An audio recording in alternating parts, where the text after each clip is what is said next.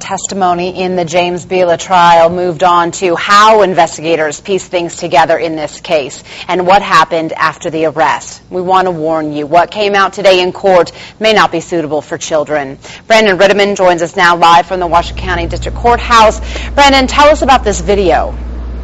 Okay, well, the video shows the inside of an interrogation room at the Reno Police headquarters.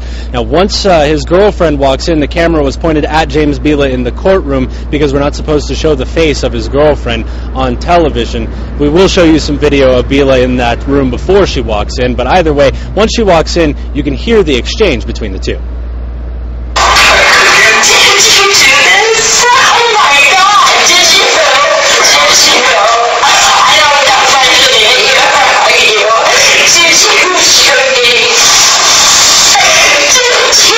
Carleen Harmon asked her boyfriend James Biela whether he did the things he was accused of more times than we could count. He never answered yes. He never answered no. What he did say is, I can't tell you. He refuses to answer her question every time she asks it. Biela seemed emotional in the courtroom watching the video. He kept his head down while it played. In the video, at one point, he asked her why she lied to him about providing a DNA sample from their four-year-old son.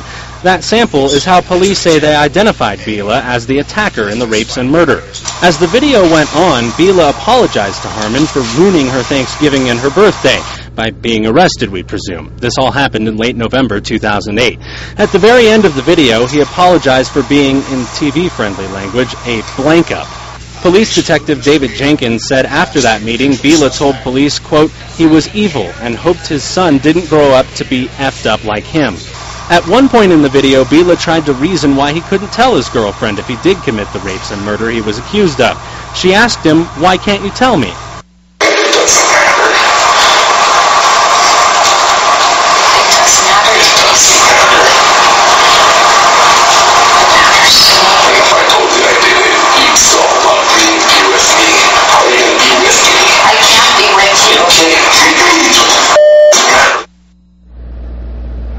All right, well, hard to believe from this photo, but in that video, Biela also made some suicidal statements saying, I don't want to be alive anymore at one point.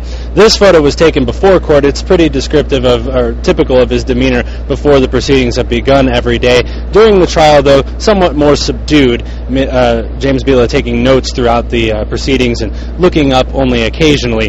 Here's what we can expect as we get back up and running tomorrow. The prosecution will continue to present their case. They expect to be finished on Friday. We'll get more testimony from police. In fact, Detective Jenkins will still be on the stand when we come back first thing tomorrow, and we should start getting into more DNA analysis from the Brianna Denison killing.